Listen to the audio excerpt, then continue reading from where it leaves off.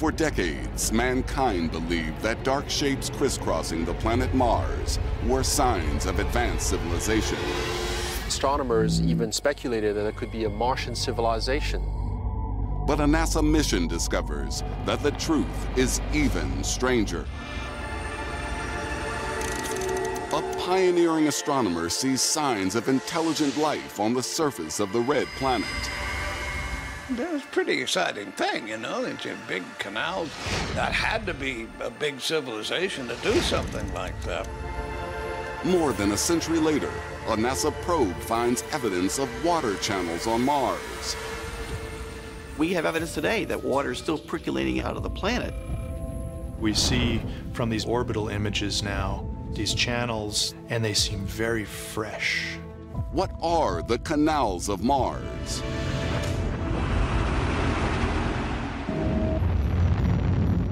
Today, NASA's cutting-edge spacecraft allow us to see other worlds and even distant stars. The white heat of technological progress has even burned away many ancient superstitions. But some beliefs are harder to dismiss. On September 5, 1877, the planet Mars makes one of its closest approaches to Earth since the age of the Neanderthals. An Italian astronomer, Giovanni Schiaparelli, seizes the opportunity to get a close look at the red planet. Giovanni Schiaparelli was a very meticulous and rigorous chronicler of what he saw through his, his telescopes, uh, and Mars was a subject of fascination to him. During his observations, Schiaparelli sees something extraordinary on the surface of Mars. He saw these lines on the surface, which he called canals. The discovery of what looks like a network of canals across the red planet influences some of the major players in the American scientific community. Percival Lowell was a foremost American astronomer, and he drew what he saw in the patterns on Mars, and he saw canals. With the notion that Mars might even have a network of canals, astronomers even speculated that it could be a Martian civilization. Lowell really popularized the idea that there was a dying civilization on Mars and they had to build canals to transport polar water to the equator and so forth, and he made a great story out of it all. Martians are everybody's favorite alien, and they have been for hundreds of years. And in particular, a century ago, people were talking about the canals on Mars. Well, the canals on Mars wouldn't have been made by microbes. The idea of a Martian civilization based around a network of canals becomes part of mainstream pop culture in the 20th century. Edgar Rice Burroughs is famous for creating Tarzan, but his Martian adventure stories are also huge and still with us.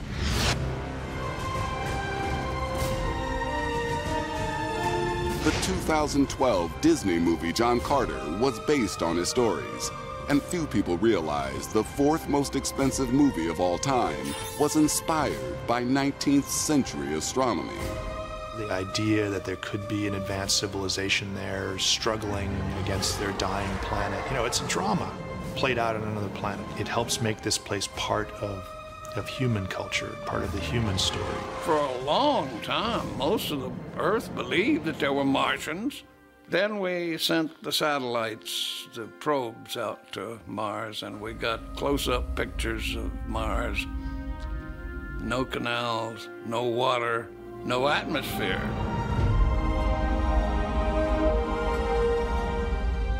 It's a very harsh environment. Minus 50 degrees on a warm summer day, very little air and all the wrong kind of air. I mean, you know, the idea that there are sort of Martians walking around having a good afternoon, uh, you know, that doesn't play very well. The channels Lowell observed are not signs of Martian civilization. NASA's survey missions provide an alternative explanation for what he saw through his primitive telescope. Schiaparelli and Lowell were looking at Mars from the Earth through a turbulent atmosphere and with telescopes that had glass that was inferior. Defocusing a modern Mars image simulates what you would see through a 19th century telescope. dark areas of the planet morph into lines and what looks like networks of interconnected waterways. This is what Schiaparelli saw as canali. But in reality, the shapes are characteristic of the Martian topography. The human brain tends to convince us that we see patterns when maybe they aren't there. The patterns may be an illusion, but the crystal clear images from NASA's recent Mars missions do suggest there once was water on Mars. It was the biggest canyon in, in the solar system. It, it's what the Grand Canyon would like to be if it ever grows up. It's pretty good proof, among other things, that there was water on Mars. Maybe there were canals two million years ago, but they're not anymore, I'm sorry to say. From the 1960s, most scientists agreed that Mars is almost completely dry. But in 2011, Professor Alfred McEwen spots something astonishing in images from NASA's Mars Reconnaissance Orbiter. We see these dark lines on steep slopes that uh, appear and grow slowly or incrementally down the slope during the warmest season. What's exciting about these, these lines is that uh, we can explain this as actual liquid water today slowly seeping down these slopes. We've got gullies that are coming out of side of craters uh, with little bits of water, like little waterfalls, maybe only lasting a half an hour or so. But we have evidence today that water is still percolating out of the out of the planet. We found out that in a sense, Percival Lowell was right. There are channels in the surface of Mars carved to transport water from one place to another.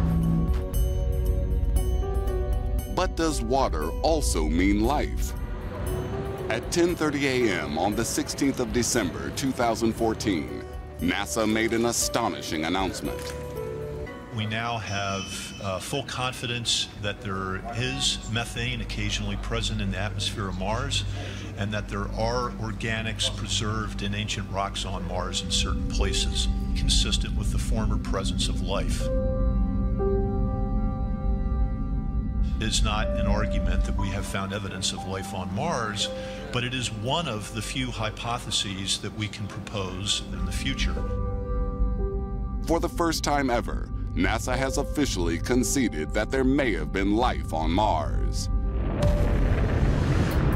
NASA's next Mars rover is not scheduled to launch until 2020. For now at least, the idea of life in Martian canals will remain fiction.